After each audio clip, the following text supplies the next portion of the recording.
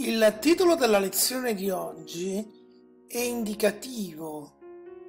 A pagina 15 lo trovate ed è alle origini della lingua italiana.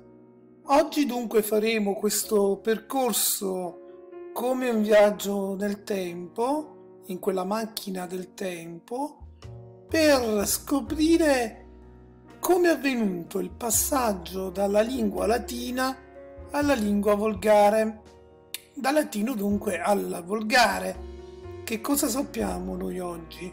Sappiamo che l'italiano è una lingua che noi parliamo ed è una lingua che deriva dal latino. In particolare sappiamo che la lingua italiana, l'italiano, è il risultato di una lenta e costante evoluzione della lingua parlata, la lingua volgare perché deriva dal latino vulgus che significa popolo, attraverso i secoli. Il latino scritto invece si conservò, mai cambiato nel tempo. Perché? Perché legato a modelli più rigidi, soprattutto di tipo letterario. Volte abbiamo ricordato come politicamente l'impero romano d'Occidente era ormai terminato nel 476 d.C. e subito dopo, insomma, cambia anche dunque il modo di parlare di tante di quelle genti, di quelle persone, di quei popoli che vivevano nei territori che erano stati dell'impero romano d'Occidente. Tutto questo portò alla nascita delle lingue neolatine, chiamate anche lingue romanze, tra cui anche la nostra, il volgare italiano, il francese, il provenzale, lo spagnolo, il catalano, il portoghese, il rumeno, il ladino, parlato ancora oggi in alcune vallate della Svizzera, ma come abbiamo visto in geografia recentemente, peraltro, anche in Trentino Alto Adige e in Friuli Venezia Giulia. Quali furono però i primi documenti in volgare italiano? A questa domanda cercheremo di dare una risposta con alcuni appunto esempi, con alcuni documenti che ci sono rimasti negli archivi. Possiamo dire che i primi documenti scritti in lingua volgare in Italia risalgono al periodo che va tra il IX e il X secolo d.C. Il più antico ed è anche abbastanza famoso, si chiama Indovinello Veronese, chiamato così perché? Perché venne composto da uno scrivano, uno che scriveva, uno scrittore veronese, intorno all'800 d.C. e come dicevo prima, ancora oggi è conservato a Verona in archivio Che cosa diceva questo indovinello? Leggiamolo sempre a pagina 15. Se pareba boves, alba pratalia raba, et albo versorio teniba, et negro semen seminaba, gratias tibi agimus, omnipotens, sempiterne Deus. C'è anche sul nostro libro la traduzione in italiano, leggiamola spingeva avanti i buoi, arava bianchi prati e teneva un bianco aratro e seminava un seme nero. Ti rendiamo grazie, o Dio onnipotente ed eterno.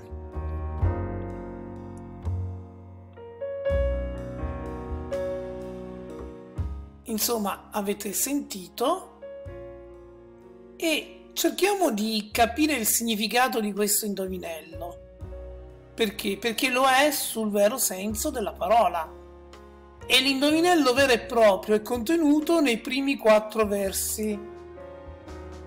Cerchiamo di vedere come, come va interpretato, mentre in alto chi ha il libro davanti può anche vedere il manoscritto, appunto scritto a mano, dell'indovinello veronese. Il primo verso dice così parla dei buoi, ma i buoi in questo indovinello che cosa rappresentano? Rappresentano le dita dello scrivano.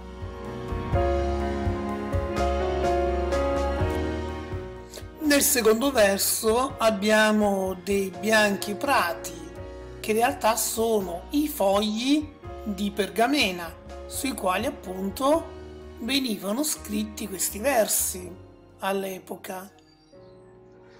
Il terzo verso parla di un bianco aratro che in realtà è la penna d'oca intinta appunto nell'inchiostro utilizzata per scrivere.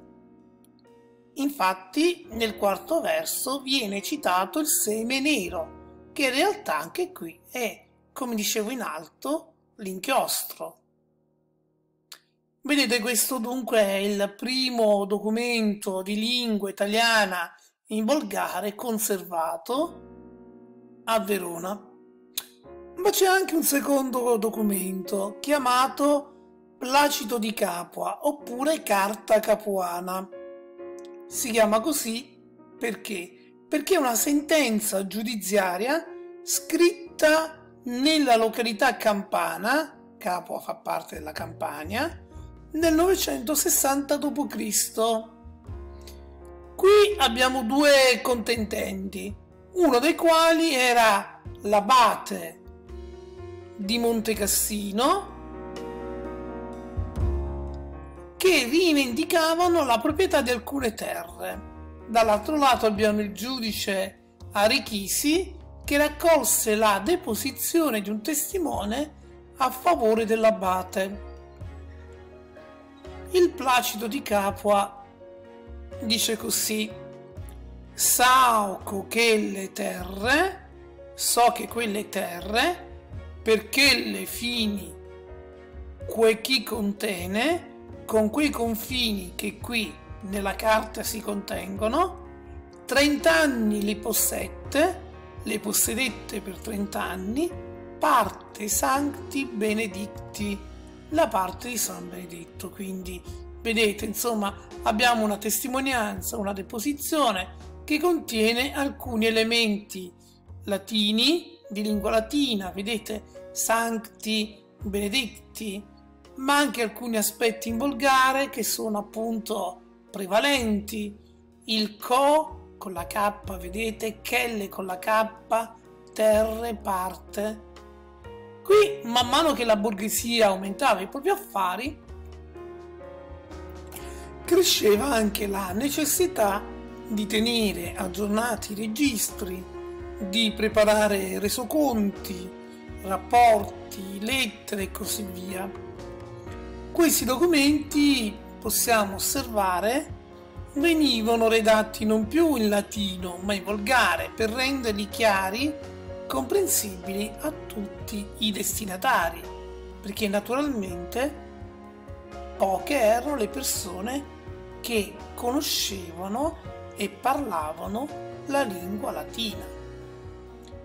Nello stesso tempo, alcuni autori cominciarono a utilizzare il volgare anche per opere di invenzione, scritte per intrattenere o comunicare emozioni e sentimenti.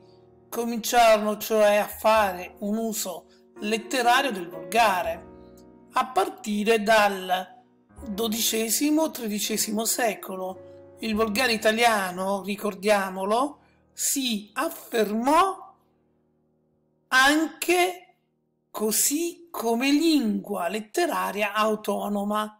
Sul nostro libro potete ammirare un foglio di pergamena interessantissimo che appartiene proprio a questo periodo che è anche dunque il manoscritto della Placito di Capua come potete osservare.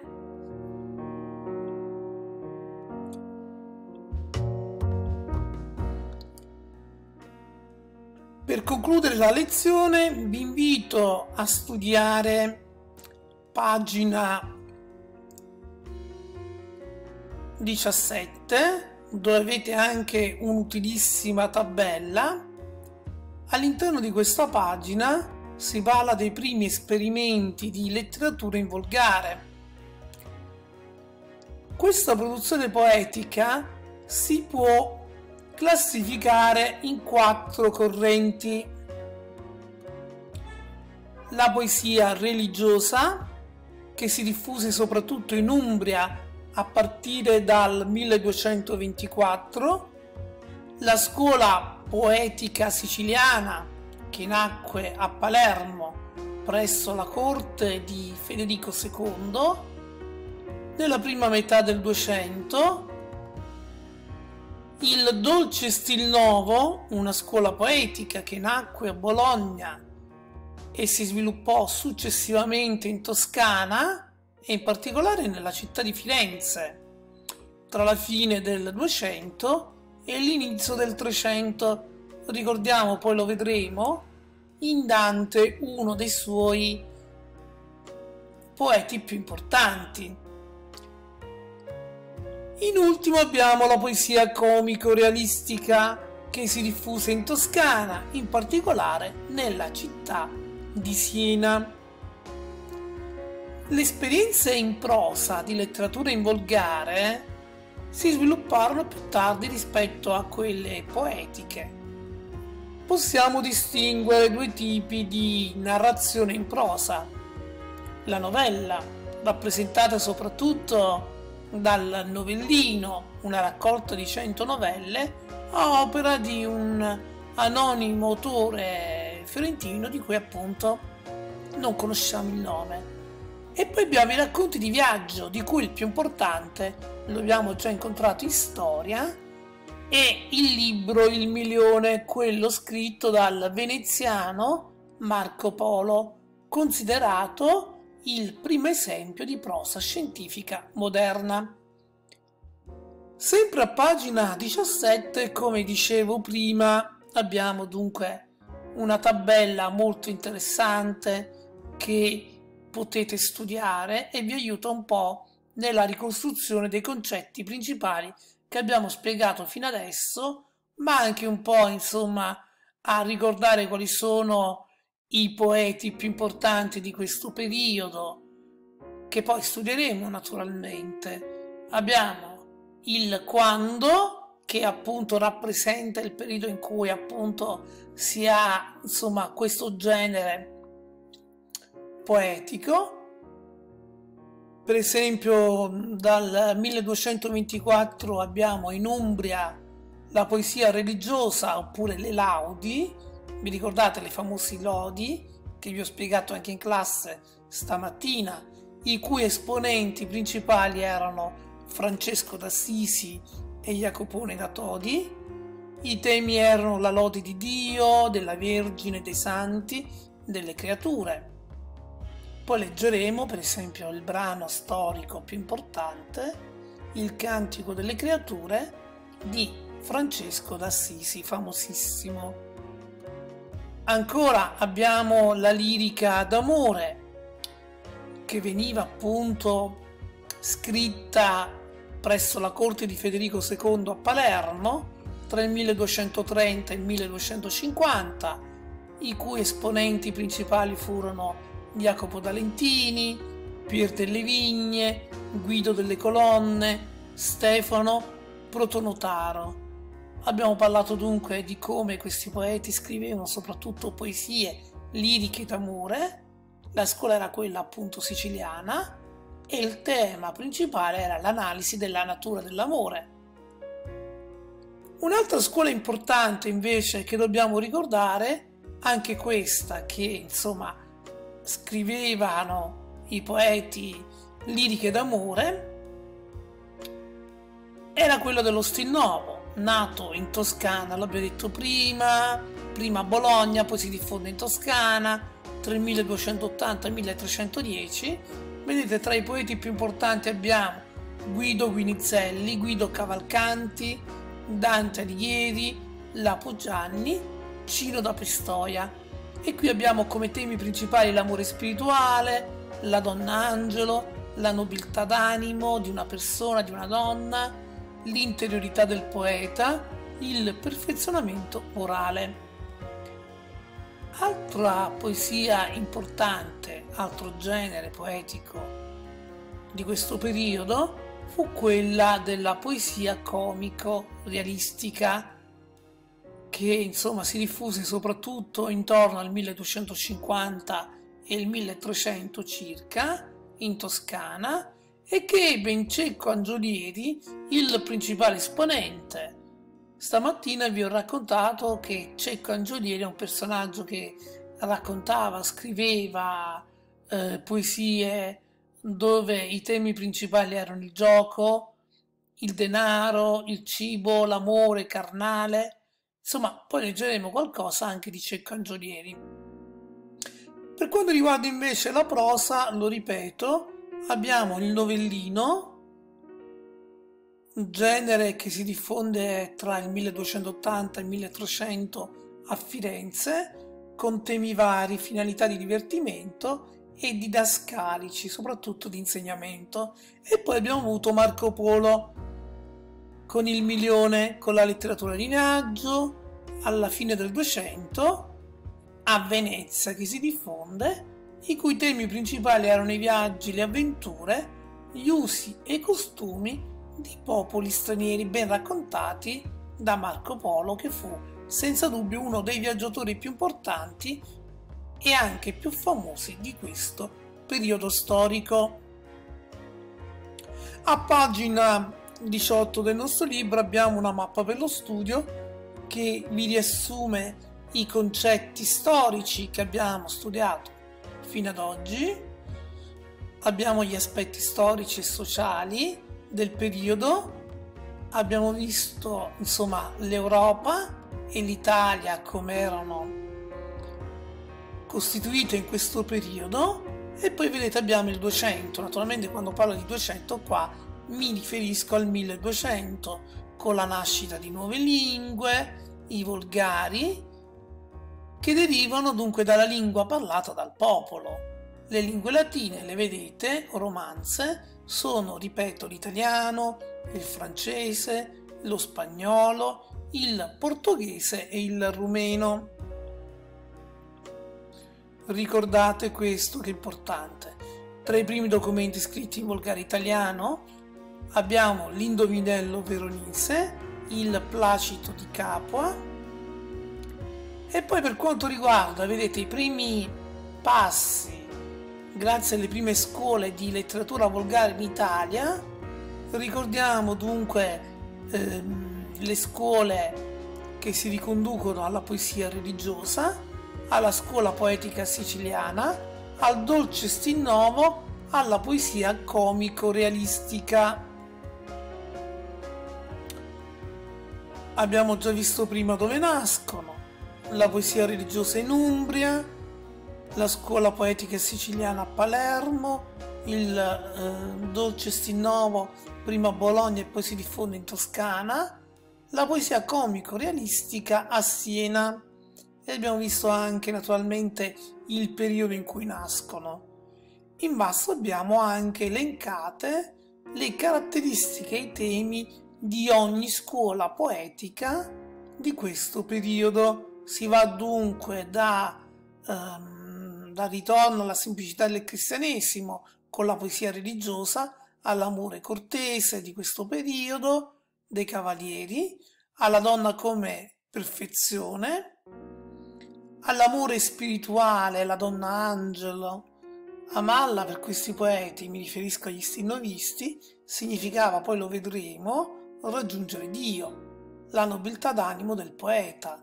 E poi abbiamo invece temi riguardanti, lo ripeto, la poesia comico-realistica, riguardanti appunto la vita quotidiana, il denaro, il gioco, il cibo, l'amore, la poesia scherzosa e comica. Tra i poeti e i massimi esponenti ricordiamo ancora San Francesco d'Assisi, Jacopo D'Alentini, Pier della Vigna, Rinaldo d'Aquino, Guido Cavalcanti, Dante Alighieri Guido Guinizelli, Cecco Angiolieri. Questi saranno i poeti di cui parleremo nel nostro viaggio letterario che cominceremo alla ricerca delle origini della nostra letteratura italiana.